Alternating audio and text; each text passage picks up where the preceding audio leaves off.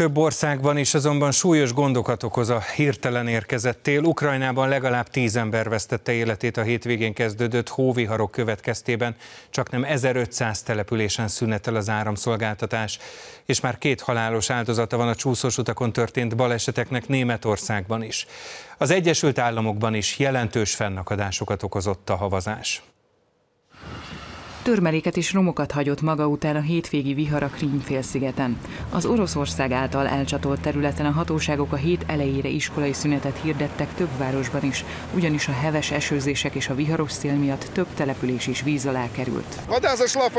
A víz betört az otthonokba, a házakban térdig, de van, ahol derékig ért, mondta egy helyi férfi. A Krimből már elvonult a vihar, de a hatóságok tíz településen szükségállapotot hirdettek ki, miután több százezren maradtak áram nélkül a félszigeten. Az orosz rendkívüli helyzetek minisztériumának tájékoztatása szerint a dél-oroszországi Rostov megyében a víz már levonult, nem maradtak elárasztott települések, azonban a Donetszki népköztársaságban, a Krasnodari területen és Szevasztopolban továbbra is több száz lakóépület és több hektárnyi földterület van elárasztva.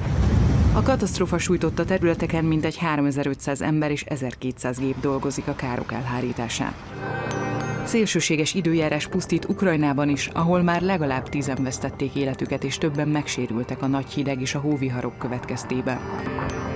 A viharos időjárás leginkább Ukrajna déli részét sújtja, különösen a Fekete-tengeri régiót.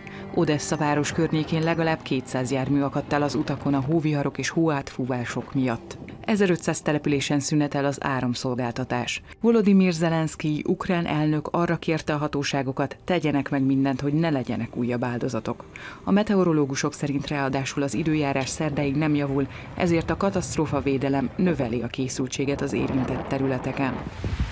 Az idei tél első havazása meglepte az autósokat Németország nyugati részén is. A nagy hóban rengeteg jármű akadt el, vagy csúszott le az útról. A káosz, puros káosz. Teljes a káosz. A fiamért akartam elmenni, ami normálisan 15 perces út. Most három és fél óráig tartott. Semmelyik út nem járható, panaszkodott egy férfi. Mit deshalb muss ich zu Fuß einkaufen.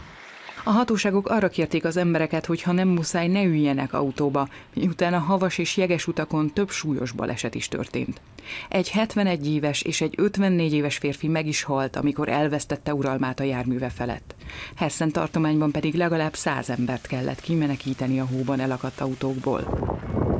A tél beköszönte a tengeren túlon is komoly gondokat okoz. New York állam második legnépesebb városában, Buffalo-ban helyenként 40 cm-es hóra ébredtek az emberek.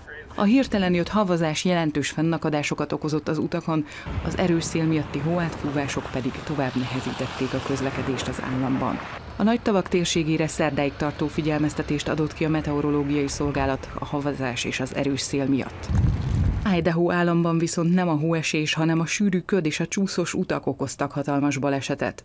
A rossz látási viszonyok miatt legalább 30 autó ütközött egymásnak az egyik nagyforgalmú úton. A helyszínelés és a műszaki mentés miatt órákon át tartó torlódás alakult ki az autópályán.